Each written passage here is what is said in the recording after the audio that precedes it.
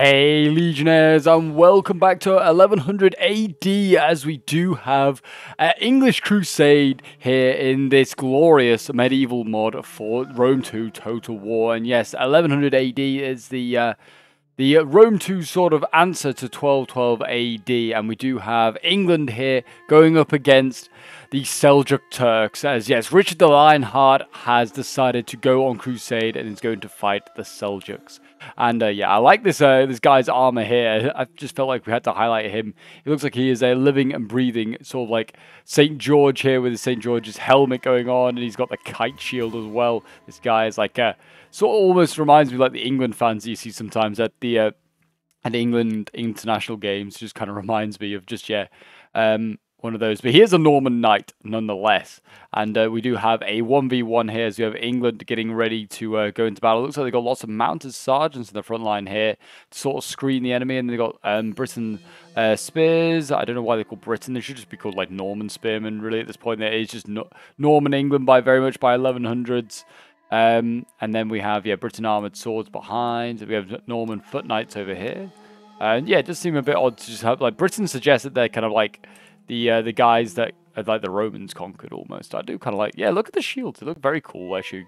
Uh, some of the artwork on these is very, very fun. And then we do have uh, longbows in behind as well, English longbows, what they're famed for, the English. And they are going up against the Turks here in a very fast-paced battle by looks of it. It's not all a quick one, so we'll do some slow-mos and just, you know, analyze this battle a little bit. We've got Turkic noble lancers here, a lot of the archers as well.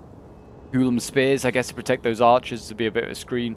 And uh, yeah, interesting to see that the English haven't uh, thrown forward their archers, which are a uh, very heavy bow unit. Um, so I guess in a in a in a skirmish fight, I was going to call it a line fight, but in a skirmish fight, they should definitely win this uh, against the light missile infantry, I would have thought.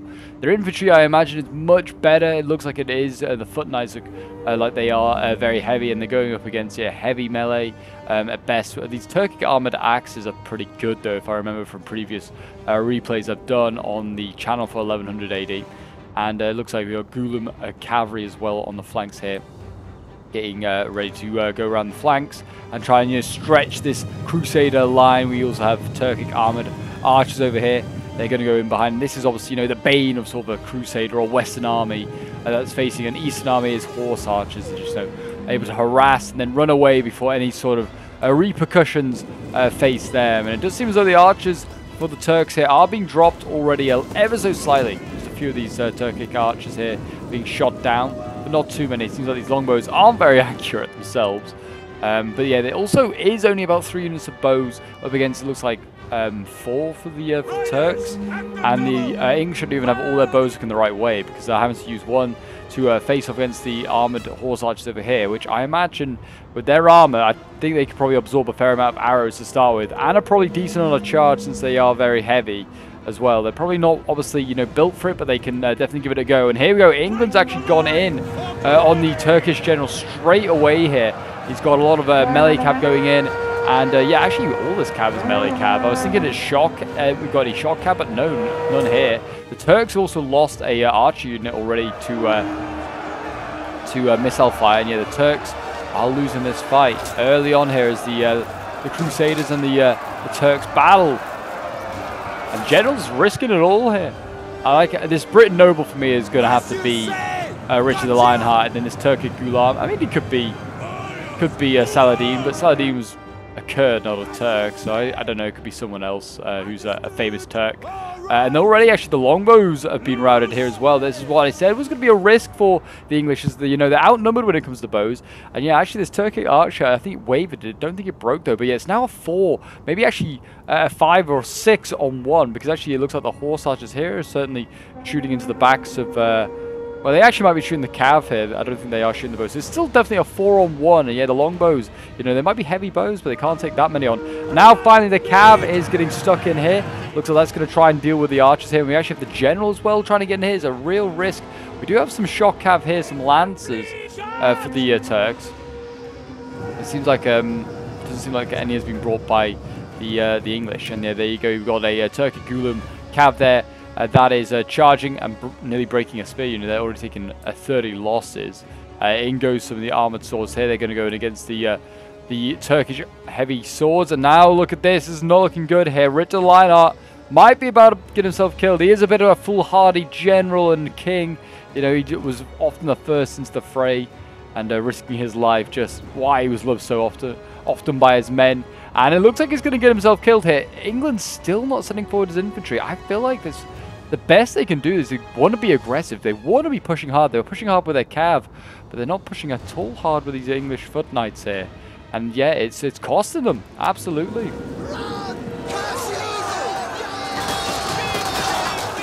The fighting continues down here.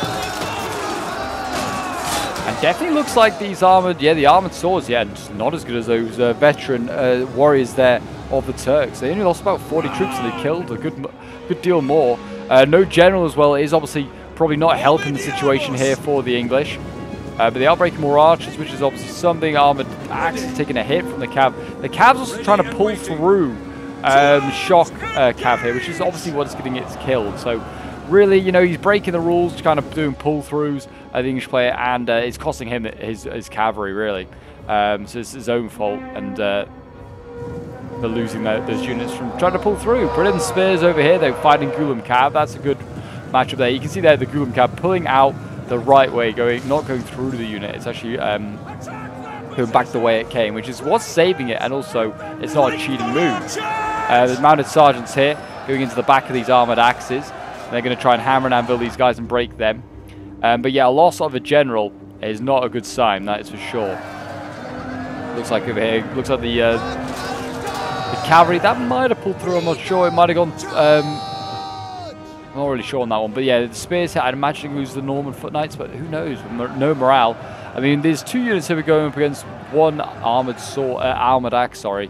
Definitely do not want to be um, doubling up if they can. They want to be trying to hit as many units as possible. And here we go. Ghulam Cav are going to get a very easy charge into the longbows here.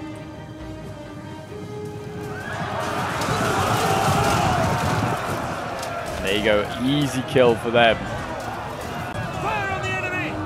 And then we have, uh, yeah, the Ghulam Cav now going in for a, a rear charge here onto the uh, English Foot Knights. They're going to try and get these guys. There you go, smash into the back of them. And yeah, those uh, Norman Foot Knights immediately starting to lose, wavering at 16 kills, and they've lost half their unit. Actually shows up pretty strong, these uh, Ghulam Cav even on a charge. It's some good kills. Britain Spears on rate. I mean, the general with Lionheart, you know, just being way too aggressive. Costing himself uh, the game, really. This English player here throwing away his, uh, his general and throwing away his morale and a chance of winning. Because, yeah, look at that. A mass defeat, really. It was actually a really fast one because of the uh, the foolish move, really, by um, by the English player. Zenon here, yeah, throwing his general in, and it cost him. He only got he got less than 500 kills. He, uh, yeah, didn't even kill a third of Premysl's army here. But, yeah, Zenon, I think, is the one that sent this one in from his perspective as England. Um, but yeah, 67 kills uh, with these English knights here, these uh, sergeants, sorry, here. Um, but yeah, nothing else is infantry. Yeah, really getting like no kills. These foot knights, which probably could have gone on and done so much damage to that infantry. Yeah, unfortunately did not. And then we have Premysl here, uh, getting 85 kills with the Ghulam Cav, 67 with the Noble Lancer here. Uh, they got Turkic Archers, 66 kills, 105 with these armored axes, uh, the uh, Warriors here, the veteran Warriors, 112 kills, and then yeah, nothing else really getting massive kills really. But there you go, guys. That is today's 1100 AD uh, battle. If you did enjoy and want to see more, uh, sort of of this medieval mod for Rome 2, I can try and get some more replays. The uh, the mod, if you want to download it, is also on the workshop. If you want to see more of this sort of content, though, do leave a like, subscribe if you're new around here to comment, show support. And uh, feel free to set, uh, send in any of your own Total War replays uh, to my Discord. That's how I got this one. If you ever want to send in any of your own to have them featured on the channel, you know what to do. You just join the Discord. But until next time, guys, I'll see you in the next one. Bye for now.